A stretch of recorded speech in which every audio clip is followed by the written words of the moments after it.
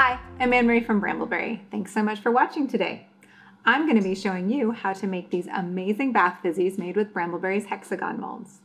Bath fizzies are really easy to make. If you've never done it before, this is the project for you.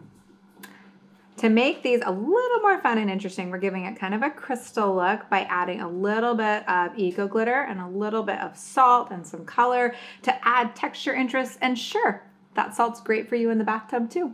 To make these even more skin loving, we're also adding some extracts, so orchid extract, which is in fractionated coconut oil, and a little bit of shea butter. Finally, these are scented with Moonchild fragrance, which is a really, well, it's hard to describe, but let me give it a try. It's got some bergamot in it, it's got some grapefruit in it, it has some Earl Grey tea notes in it. It is a really ethereal fragrance. It's what you think about when you're like, Moonchild. One last ingredient I want to hit on is our polysorbate 80. And you're like, what's polysorbate 80? Polysorbate 80 is an emulsifier. What that means is it binds water to oil. So when you hear about the shea butter and you're like, yes, that's great for my skin, but doesn't that just go to the top of the tub and give me oily tub? Hmm, sometimes it can. The polysorbate 80 actually makes the water in the tub mixed with the shea butter so it stays evenly suspended in the water and bonus, won't give you ring around the tub. So I love using polysorbate 80 in all of my bath fizzies. It is optional though, you don't have to use it if you don't want to. Let's get started. The first thing I'm gonna do is make sure my workspace is clean. But while I'm doing that, I'm gonna melt my shea butter down in the microwave on like eh, 30 second bursts. I don't want it to get too warm. While my shea butter is melting, I'm just gonna get my salts ready. So this is just some Dead Sea salt. And I'm gonna put just a, yeah, a dish and a dash, just a little bit of this eco glitter, little bit of this purple in. And remember, you can always add more, but you cannot take it out.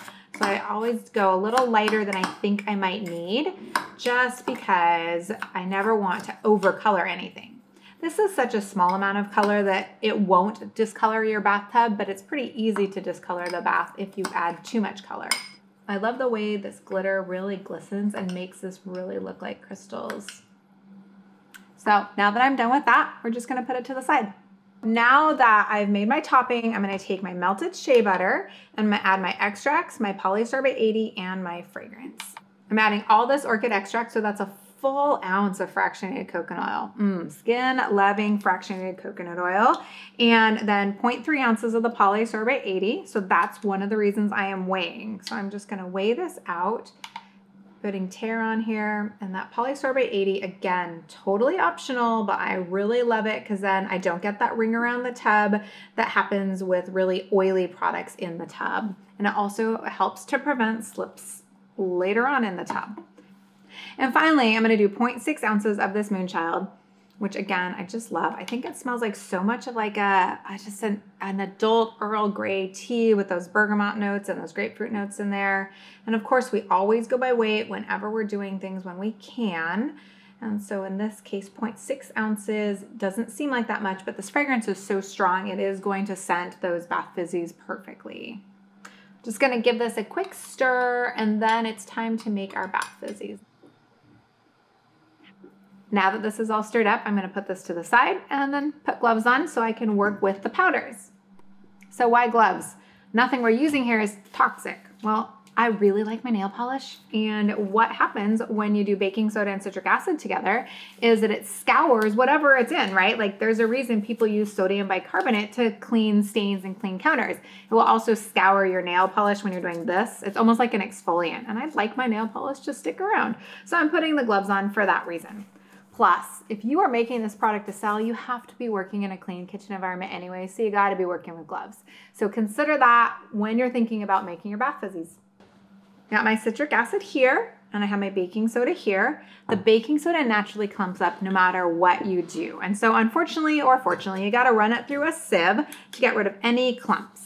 And if you don't do that, what ends up happening is you end up with this kind of uneven mixture that makes little protrusions in your bath fizzies or little wart looking things.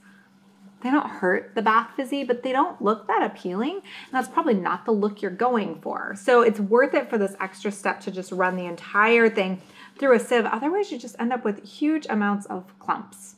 Only gets up from uh, uh, oh. Mm, mm, mm, This has all been sifted and now it's time to add my citric acid. I'm not sifting my citric acid because that is pretty free flowing and it doesn't really like pull moisture to it so it doesn't clump up as much. Now all I'm doing is mixing that in really well. And this might tickle your nose and if it tickles your nose, put a mask on. It doesn't really bother me, but lots of people like to wear a mask when they're working with this product.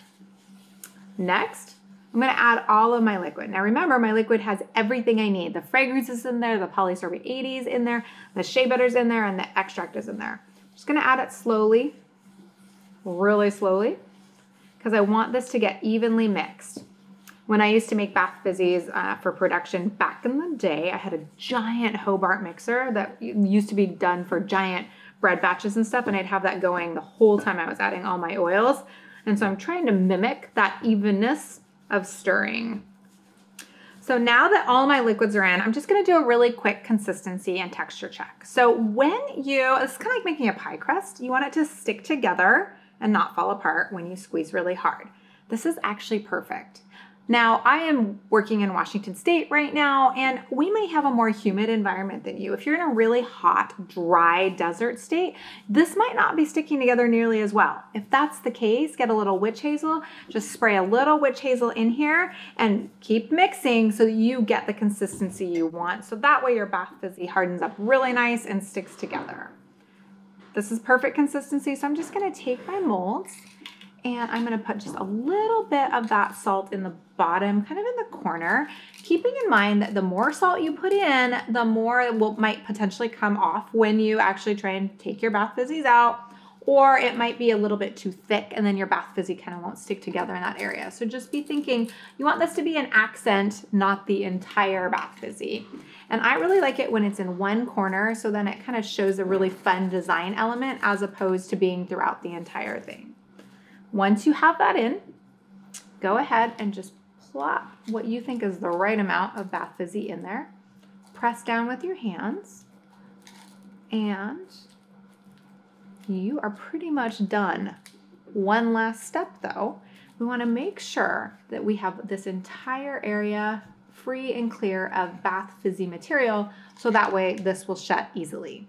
I'm just gonna keep filling my bath fizzies up. And then just one more thing, you wanna make sure that these dry probably overnight before you close them, because you want them to evaporate just enough that they are gonna be hard. That way you can use them the next day or pop them out the next day. So these were made just a couple days ago, and you can either, you can of course just, you know, pop them closed and package them and give them away or hang them for sale, or I'm just gonna pop them out and then they're ready to use right away. And when you pop them out, if you wash this, you can always reuse it.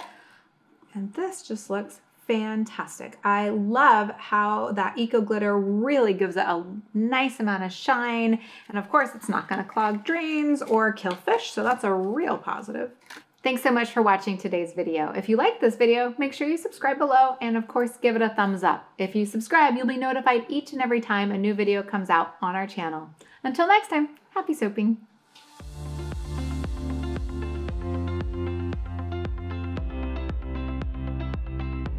Here we go.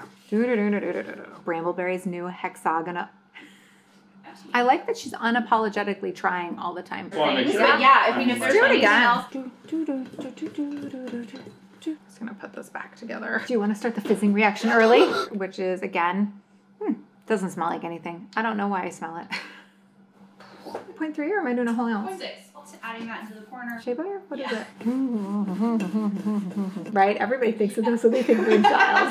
That's one of those lines that when I see it later, I'll be like, what? Only gets up from uh, uh, oh. Uh, mm, mm, mm, no. No.